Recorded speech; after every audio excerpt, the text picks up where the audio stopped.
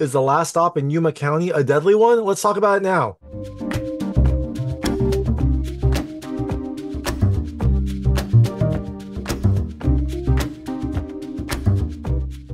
Hey everyone, it's David Stark from Watch or Pass. I'm here to talk to you about The Last Stop in Yuma County, which is coming to theaters on May 10th, 2024. It is a new Western thriller from writer and director Francis Galluppi. I think it's his first feature film, and oh my gosh, it's a really good one. My hot take is I loved it. I thought it was fantastic. I definitely think you should watch it. It is just a tense Western thriller with a fantastic cast, really great sense of style, and some big surprises along the way. I really enjoyed it. I thought it was a really well done film. It's fairly simple, but I love the simplicity. I love just kind of like the attention to detail that the film had. It is just a, a treat. And so I definitely think you should check it out when it comes to theaters on May 10th, 2024. So all that being said, I'm going to tell you a little about the film, a few things I liked, a few things I didn't like, and then really quickly go into the ending. So, as you can imagine, there will be spoilers in the ending section.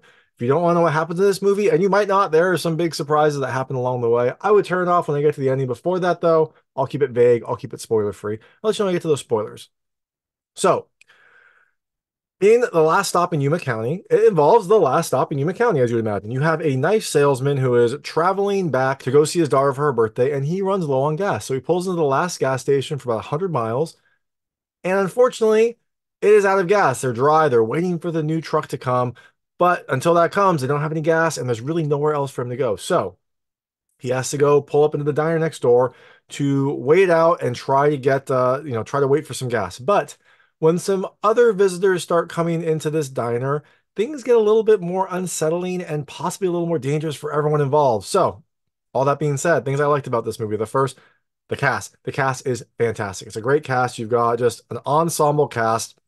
I love Jim Cummings as the knife salesman. Richard Brake was fantastic as one of those uh, sinister guests. Barbara Crampton made an appearance a little bit short for my taste. I love Barbara Crampton. I wanted more stuff, but she had a small role in this film. Uh, Sierra McCormick was great as uh, one of the other diner visitors, and Jocelin Donahue uh, was fantastic as like the the waitress, the person that is kind of like trying to keep all the chaos in order. It is just a really phenomenal cast of very interesting characters, and they all kind of come together in this diner as this uh, tense situation starts to boil.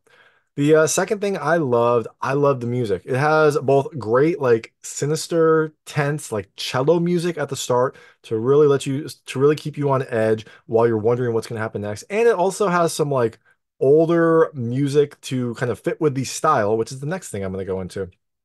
The uh, third thing I loved, I love the style. It definitely feels like an older kind of like Western movie. And you get that from the start, like from the very beginning, you get this like, old time looking Well Go USA logo, which I love. Like I see a lot of Well Go USA films. I love that company. And this was a very different one. And it was really fun to see kind of a, a I don't know, classic take on the Well Go logo.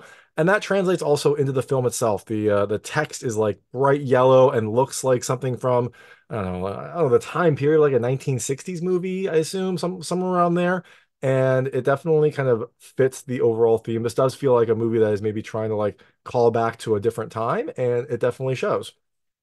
And the last thing I love, I love the turn. I'll call it the turn, or maybe like the, the climax of the movie. It was really well done. Like I said, you're waiting for this tension to happen, you're waiting for this buildup to happen, and when it does actually happen, it is pretty surprising and shocking. So, you know what? Uh, one more thing. The last thing I loved, I did love the ending asterisk. Uh, I liked the ultimate ending. I thought it fit with kind of the themes and things that are happening in this film and the decisions that were made. So I think it is a good classic thriller type of ending. And I think it's very well done. So all that being said, things I didn't love as much. I, I don't know. I don't know how to really describe it. The ending feels a little bit unfulfilling, and I'm, that's not that's a tough thing for me to talk about. I'll talk about it more in the ending section, but it almost feels like this movie had a set plot and then they kind of extended it out. Maybe they, I don't know if that's this is the way I'm gonna ask the director when I talk to him. This is maybe this is the way it was always supposed to be, but it feels like there is a natural endpoint to this movie and then it kind of keeps going. And that's not to say that the later stuff I didn't, you know, like, but it does feel like this movie could have stopped, but kind of keeps going and it makes it kind of almost drag on in, in a weird way. Um, and the ultimate ending is a little bit unfulfilling for reasons I will talk about in the ending section. So, all that being said, I really did enjoy Last Stop in Yuma County. It was a very fun movie for me to see. It was kind of a refreshing breath of fresh air. So, I definitely think you should check it out when it comes to theaters on May 10th, 2024. And I'm gonna go to the ending right now. So if you don't know what happens in this movie, and you probably don't, there are some big surprises. I would turn it off uh, now because there will be spoilers. So in the last stop in Yuma County, you have a traveling knife salesman, like I said, who runs out of gas. He stops at this gas station. It's the last gas station for like 100 miles. He's going home to see his daughter. And the, the station is also out of gas. They're bone dry. And so he has to wait in this diner. And while he's pulling up, there was this radio uh, broadcast. Remember the radio? That was a thing that people used to have to to listen to. Well, there was a radio broadcast about uh, these bank robbers that uh, stole seven hundred thousand dollars from a bank and were getting away in a green Pinto with a dent in the back. And like, okay, that's weird. This is definitely not a green Pinto, so it's not this knife salesman. He goes in and waits at the diner for the gas truck to show up and for him to finally be able to fill up in gas. Now, he talks to the waitress. They, you know, have, have a little bit of chit chat. He gets coffee and some pie for his daughter to bring to his daughter because he's going home to see her for her birthday. And then a little bit later, a green Pinto pulls up with a dent on the back and some rough looking individuals, most notably Richard Brake, who was fantastically sinister in this movie. They go to the diner as well. They need gas. There is no gas, so they go into the diner also. Now, you find out pretty early on that these are the bank robbers, and they just want to keep moving on. They don't want to stay here. They don't want to be stuck. But what are they going to do? The gas station has no gas. Uh, the knife salesman has no gas, which they kind of like deduce because he's waiting there. Uh, the motel next door, the owner doesn't have a car, and the uh, waitress, her husband dropped her off, so she doesn't have a car either. So they decide to wait also until uh, the gas truck comes or someone comes that they can take their car from. Now, early on, the knife salesman notices the green pinto, notices these two individuals that look a little bit kind of scary. And and during a pitch, she wanted him to like do his knife salesman pitch on her. Uh, he brings up that these people look very similar to the bank robbers, and the waitress is like, "Oh, let me call my husband, who is the sheriff." He's like, "No, no, not yet. Like, just wait." Uh, eventually, she does go to call her husband, and that is when the bank robbers get suspicious. They head over there and they take these people hostage. They cut the phone line. They take uh, the waitress and, and the nice salesman hostage. They are holding them basically, you know, waiting until the gas comes.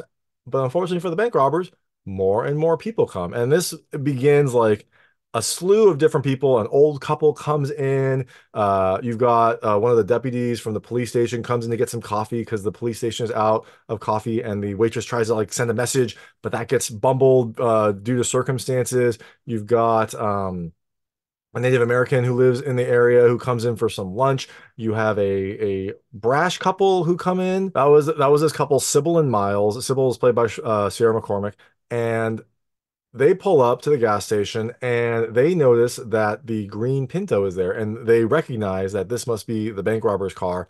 And so Miles, thinking that he can maybe get a big score, tries to pry open the car because he wants the money in there. He can't pry open the trunk. So they go in to try to figure out whose car it is and maybe see if they can like get in on the deal. So you have this group of random people all in the diner. Now, when this um when this in, this uh Native American shows up, he's a town local. Um, Bo, who's played by Richard Brake, he's one of the bank robbers, goes up to him and asks if he had enough gas to get home, if like if he filled up, just kind of like making small talk. And he's like, Yes, I, I filled up yesterday. Which seems to be the catalyst. The bank robbers have all been waiting for someone to show up that can move them along. Everyone else that showed up had run out of gas and were waiting for the gas station to kind of like start up. Well, this is the catalyst. Uh, Bo goes and like puts a quarter in the jukebox, starts a song, and then takes Charlotte, the the waitress, hostage. And this pulls turns into a wonderful standoff because when he takes her hostage, the other bank robber pulls out a gun and puts it on the Native American guy. The old couple, they had a gun, so they pull out a gun, and he's holding it on one of the bank robbers. And the Native American guy pulls out a gun too. He's he's holding it at one of the bank robbers. And then Miles, who wants to get in on the score, pulls out a gun and he's pointing it at the Native American trying to make a deal. And so they have this really long standoff where they go back and forth on what they're going to do. Uh, the Native American guy's like, "Hey, just like take my take my uh truck. Like i don't care. You can you can take it. Just let her go. And they're like like no no we're gonna keep her as collateral. And he's like no you leave her. You can have my truck. They all have this long standoff. And eventually the the old man who has a gun trained on one of the bank robbers notices that charlotte has a knife. She grabbed a knife from the back. She put it in her like uh apron. And so she pulled it out and he's like go for it. And so she stabs bo in the leg. He's holding her hostage which causes him to let her go. Charlotte falls causes you know gunfire everywhere uh you know Bo gets shot in the neck. Uh, the other bank robber like gets down. He shoots the uh, the Native American guy. Um, everyone get everyone gets shot in various ways. It's, it's chaos except for three people. The larger, more brash bank robber, he survives. He doesn't get shot. The knife salesman fell under, you know, went under the table for cover. He didn't get shot. And Sybil didn't get shot either. Now, the brash bank robber notices Sybil, notices that she's, you know, alive still, and tries to go over there to stop her. And while he's like got a gun trained on her, the, the motel owner who's next door pops him with a shotgun. He heard the commotion, came running with his shotgun, pops the accomplice with a shotgun, but he gets shot by Bo. So now you have Bo who is like critically injured. He's got he was shot in the neck. He's like bleeding out. You have the knife salesman, and you have Sybil. Like, okay, well, this is okay. Everything will be fine. Sybil grabs a gun and points at the knife salesman, and she's like, you know, I want that money. He's like, you can have it. Like, I, I, you know, well, A, you should like call the police. You shouldn't take the money. You don't want it. But when she insists, he's like, you can have it. Like, to have the money, take it. But she doesn't want any witnesses. She doesn't want anyone to know that she has the money. So eventually, after some more tense standoff, she shoots at the knife salesman. It like hits the table that he's hiding under, and this causes her to like freak out and like drop the gun. And that is when he runs at her. He's a knife salesman. He was preparing to defend himself. He had a knife and he plunges it into her chest.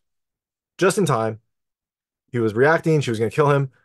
Okay, everything is fine. Well, not fine, but you know, at the moment, everything has seems to be settled. Now, Unfortunately, that conversation planted a little seed in the knife salesman, and seems like now he wants a little bit of that money. He wants that score. So as he's smoking, trying to figure out what to do, he decides, you know what, I'm gonna take this money. So he goes inside to get the key.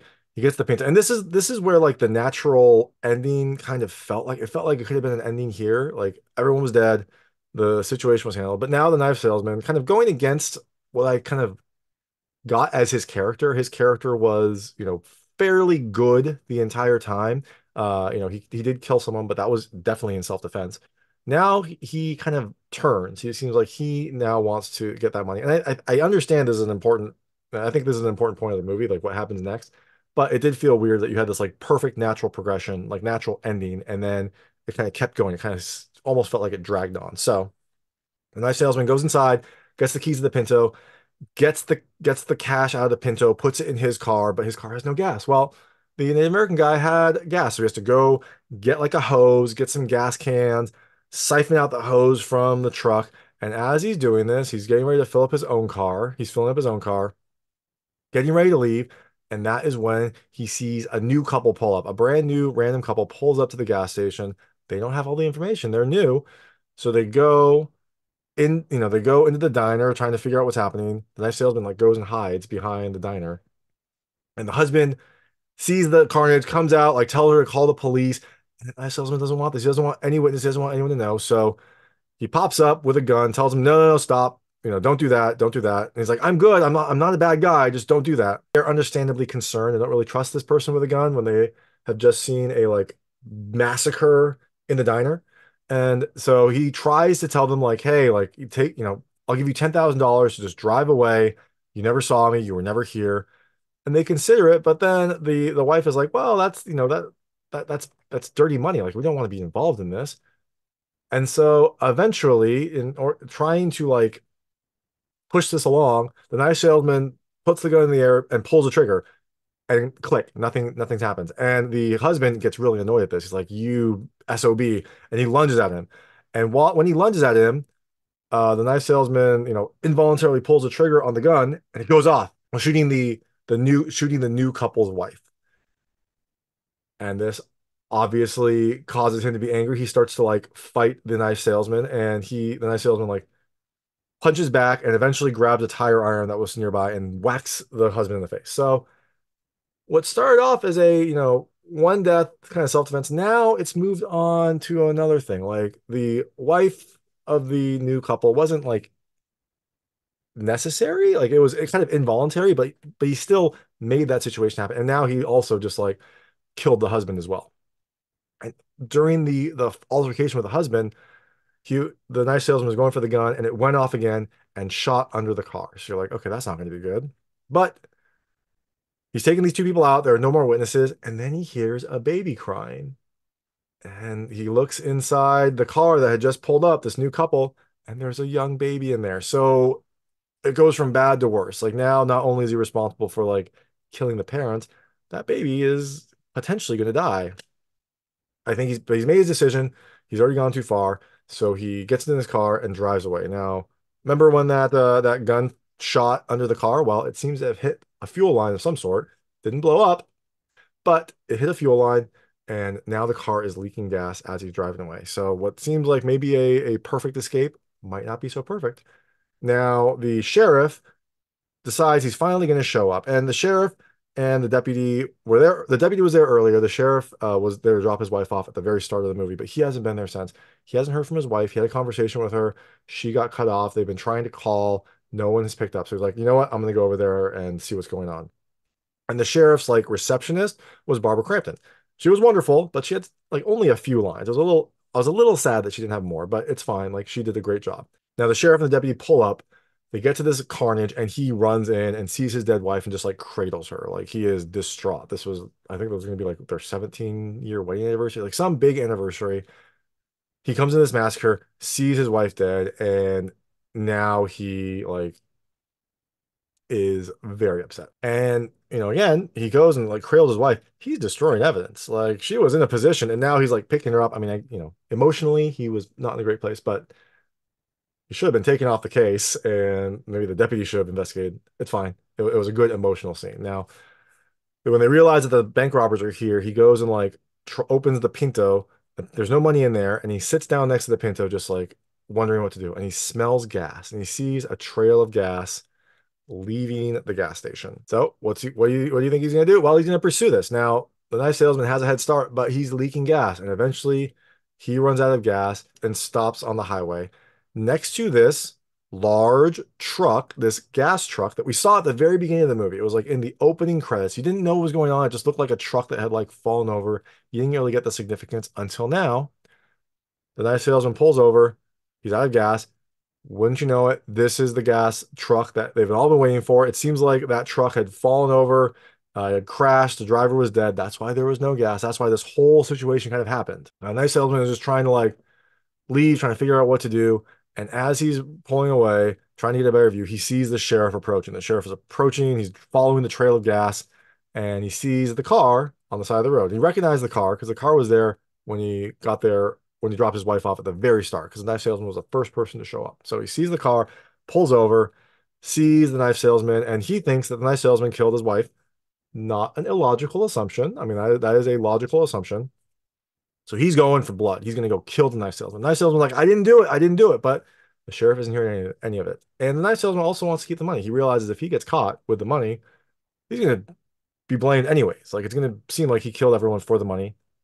I mean, not again, not an unreasonable assumption. So he's hiding behind the gas truck. The sheriff comes and starts, you know, like shooting at him, doesn't hit him.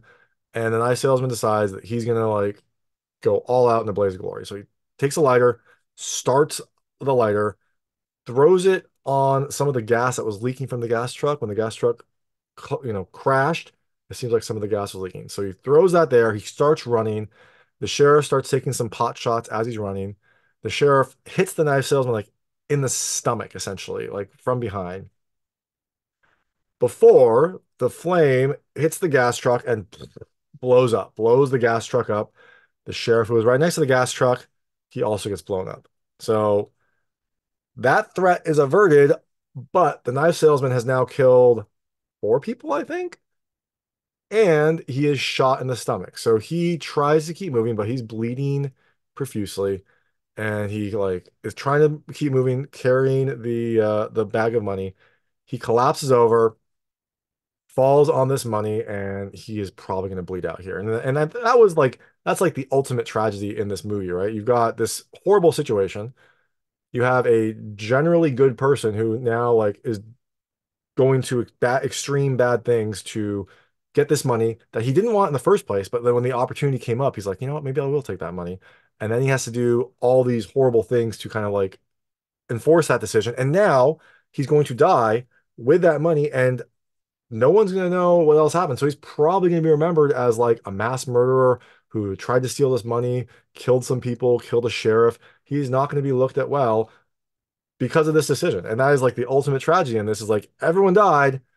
The money didn't go to anyone. And this nice salesman, you know, ruined his reputation, ruined the lives of all these people because he got greedy and because everyone else got greedy too. He also died alone in the desert when he was really excited to go back and see his daughter uh, for her birthday. So, you know, there's a lot of tragedy in this ending and it is so painful, but also like so well done. So that is it. That is everything. It seems like the last stop in Yuma County is now essentially like a ghost town because it seems like everyone in Yuma County is dead. And, but I guess they caught the bank robbers. So that's good. Well, they, they, they punished the bank robbers. So that's good, right? Well, that is the last stop in Yuma County. Uh, I guess there's two more people. There's Barbara Crampton, she survived, and the uh, the the young deputy. So they are now the new people in Yuma County. So, but that is the last stop in Yuma County. Like I said, it comes to theaters on May 10th, 2024. I definitely think you should check it out. I really enjoyed it. It has a fantastic cast, really great style, and you know, plenty of drama and really good writing. I didn't mention the writing, but the, the writing is good. It's very, very good conversation. I mean, the movie is mostly conversation, and so you have a lot of really good conversation in that diner. So definitely check it out when it comes to theaters. And if you do check it out, let me know what you think. Let me know what you liked and didn't like. Let me know what got right and wrong. I would love to hear it. And uh, thanks so much for watching. If you liked this review, please like and subscribe to this channel. It helps me out a lot. Make sure all my new content goes straight to you. Thank you. Well, they are understandably just mistrust. They are understandably um, they are understand they are understandably concerned.